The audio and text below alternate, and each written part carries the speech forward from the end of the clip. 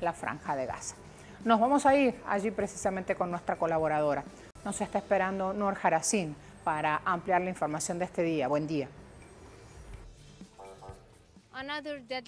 Otra mañana mortal aquí en la franja de Gaza. El escenario de esta mañana, todo el mundo desea que termine.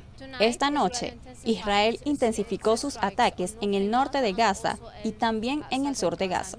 Mientras tanto, estallaron enfrentamientos entre las tropas israelíes que intentaron entrar en la franja de Gaza y militantes palestinos, combatientes palestinos, aquí en Gaza.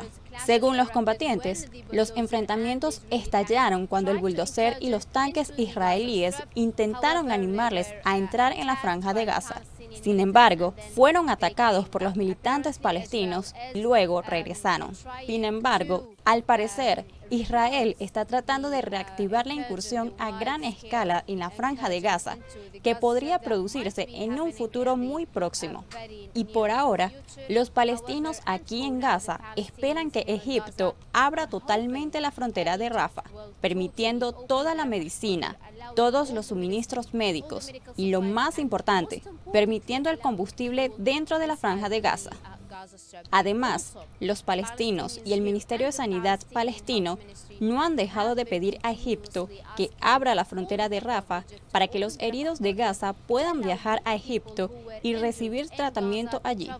El motivo es que, debido a su estado crítico, muy crítico, quieren enviarlos al extranjero para que reciban tratamiento allí. Y esto ya ha ocurrido antes aquí en Gaza en anteriores escaladas o guerras. Sin embargo, esta vez hay un bloqueo total sobre la franja de Gaza.